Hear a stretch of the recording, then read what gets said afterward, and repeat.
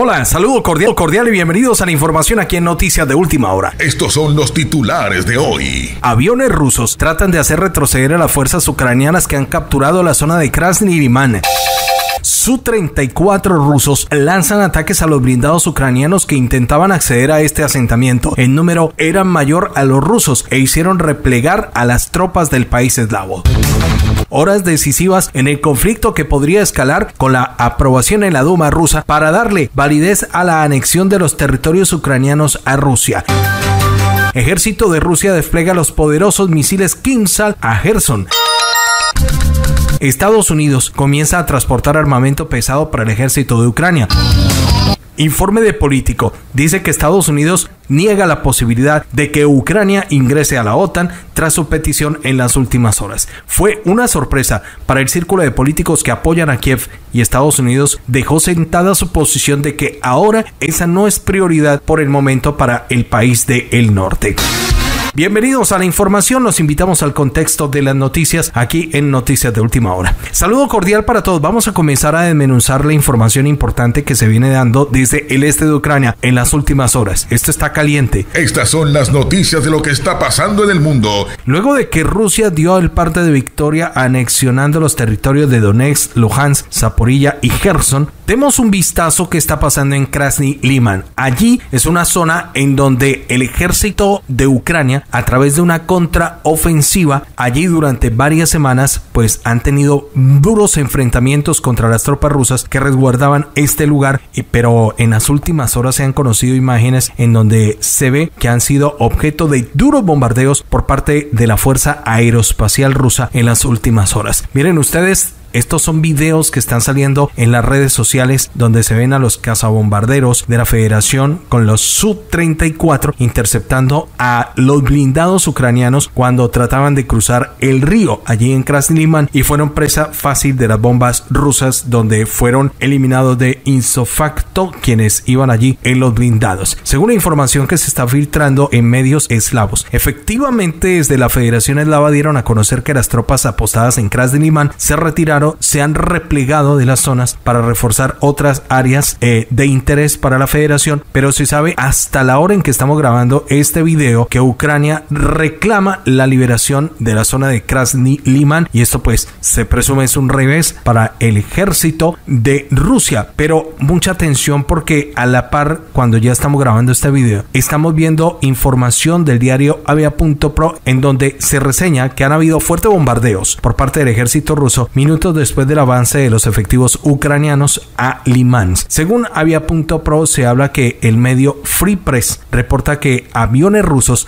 lanzaban bombas F-3000 a los efectivos ucranianos para hacerlos retroceder. Cito las palabras de el medio militar. Se inició el operativo de liberación del Limán Rojo, en el que participan cuatro grupos tácticos de combate el 58 Ejército de Armas Combinadas reforzado con equipo pesado de las Fuerzas Aeroespaciales de la Federación Rusa, en donde están trabajando Fuerzas Armadas de Ucrania y allí se han levantado bombardeos en el aire. Se están realizando ataques con bombas FAF-500 y FAF-3000. Actualmente unidades de personal de los distritos y combatientes de la milicia popular de la República de Lugansk están luchando en el área de Krasny Además, en las cercanías de Limán y Yampol, varias grandes unidades de fusileros motorizados de las Fuerzas Armadas de esta zona avanzan con la tarea de desbloquear la ciudad y las rutas de suministro, reporta la publicación Free Press. En lo que están informando de último momento, Ucrania, aunque no se ha podido establecer, ha reclamado la captura de este territorio de Krasny aunque medios occidentales dicen que no se han podido establecer todavía en la zona.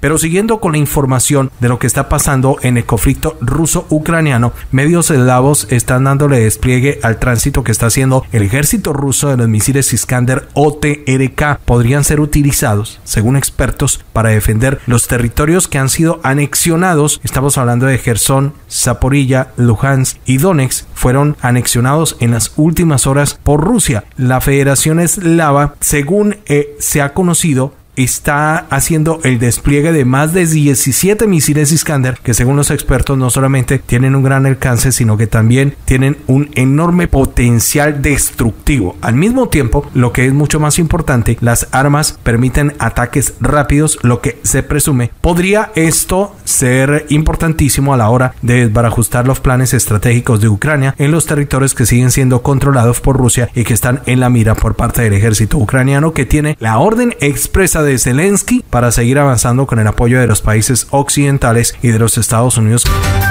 atención en las últimas horas se ha conocido desde el país norteamericano que han dado la orden para que los aviones comiencen a transportar masivamente el armamento pesado a Ucrania luego de que se diera vía libre a la conocida ley de préstamos y arriendos. Esta información que sustraemos a través de medios eslavos como es avia.pro dice que los datos de los servicios de Flight Radar 24 y AXB Exchange dicen que han visto seis aviones volando al territorio de la ciudad polaca de Rzeszów desde el comienzo del día y tienen en cuenta que varios aviones de la Fuerza Aérea de Estados Unidos no pudieron ser rastreados, pero la cantidad de vuelos de armas puede ser mucho mayor, como parte, según sigue reseñando la prensa, del préstamo de la ley de préstamo y arriendo. Estados Unidos no ha hecho las declaraciones sobre qué tipo de armas está enviando a Ucrania, sin embargo, la cantidad eh, se deduce, se está hablando de entrega de armas por valor de más de 20 mil millones de dólares en el contexto de cómo las fuerzas aliadas se vieron obligadas a su reagrupamiento y a retirarse a posiciones con más ventajas. La aparición de estas armas adicionales en las Fuerzas Armadas de Ucrania y que han sido proporcionadas por parte de Estados Unidos pues causa la preocupación al ejército ruso y pues estas podrían infringir un daño muy grande a los eh, grupos que están en la primera línea del ejército ruso y por eso es que Putin no se está quedando de brazos cruzados y ya está desplegando las armas pesadas previendo esta contraofensiva luego del anuncio de la anexión de los territorios. Es decir, Rusia se está preparando porque se pudiera declarar una guerra y esto podría dejar de ser una operación especial a falta de que la Duma rusa le dé la aprobación a los territorios y esto podría darse el próximo 4 de octubre para que los territorios anexionados ya hagan parte oficial de la Federación de Rusia. Luego de que pase esto, pues ya las cosas irían a cambiar, ya tendrían otro precio, dicen los expertos que analizan día a día lo que está sucediendo. Avanzan ya también las formaciones de reclutamiento de los 300.000 reservistas por parte de Rusia que entrarán a reforzar las líneas del frente en el este de Ucrania y la defensa de los territorios que han sido anexionados. Y muchísima atención porque en las últimas horas el periódico político pues ha hecho un contexto de lo que son las reacciones por parte del círculo que apoya a Zelensky tras su petición de ingreso a la organización del Tratado Atlántico Norte. Mucha atención porque la petición de entrada rápida a la OTAN de Ucrania dice el medio político que causó una gran sorpresa para Estados Unidos. Por lo menos aquí está reseñando que la presidenta de la Cámara, estamos hablando en Estados Unidos, Nancy Pelosi, negó a respaldar explícitamente esta petición, pero sí dijo que Kiev necesitaba una garantía de seguridad. El presidente de la Rada Suprema de Ucrania, Ruslan Stefanchuk, el mandatario Volodymyr Zelensky y el primer ministro Denis Migal mostraron la solicitud acelerada en su país para este 30 de septiembre. Y el contexto de las noticias es que la declaración de Zelensky sobre la firma para la adhesión acelerada de su país a la OTAN no fue acordada con Washington y esto cayó como un baldado de agua fría a tal punto que desde la Casa Blanca le dijeron no señor, esto no es prioridad para nosotros, la prioridad es seguir apoyándolos a ustedes con el armamento. Reporta político citando a funcionarios estadounidenses familiarizados con el asunto de que esto no cayó nada bien en anuncio de Ucrania de querer acelerar su entrada a la OTAN fue una acelere, fue una sorpresa para la administración, escribe el medio político norteamericano. Nunca estuvo sobre la mesa, dijo el ministro español de Exteriores, que asegura que el ingreso de la Ucrania en la OTAN no se plantea y nunca estuvo sobre la mesa, dijo